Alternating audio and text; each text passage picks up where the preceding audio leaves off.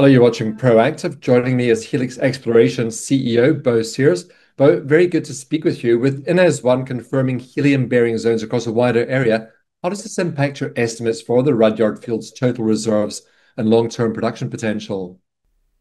Thanks, Stephen. Yeah, uh, with this new well, with the Inez number one, it just further highlights the aerial extent of this field. It's quite large. Uh, we just ran logs. The logs look identical to the Linda number one well. So we are really pleased with the results here. Can you share some more about the timeline from completing the PSA plant installation to achieving first helium production and what milestones investors should be watching out for? Yeah, so the, the PSA is effectively finished. There's just so, uh, some minor piping to be done. We're waiting on the, the delivery of the membrane units. Uh, once the the concrete pad is built on the the pad site that we've already begun construction on, uh, we'll just start moving that equipment up there. So everything is is right on time. We're we're really excited. Uh, the, the, teams that have been working on this have been uh, outstanding. So we couldn't be happier. But how do you see Helix differentiating itself as the first helium producer in Montana, especially in terms of cost efficiency and speed to market compared to other North American projects?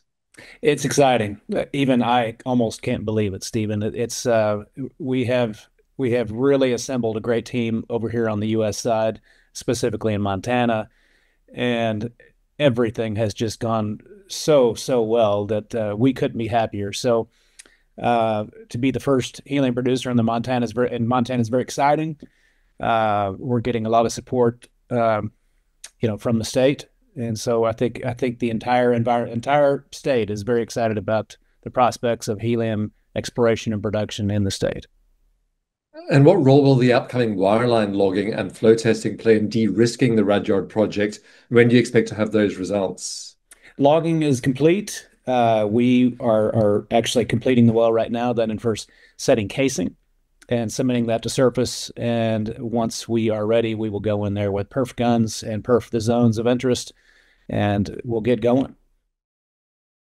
Well, I hope you'll continue to keep us updated with progress. Thank you very much for speaking with us today. Thank you, Stephen. Helix Exploration CEO Bo Sears.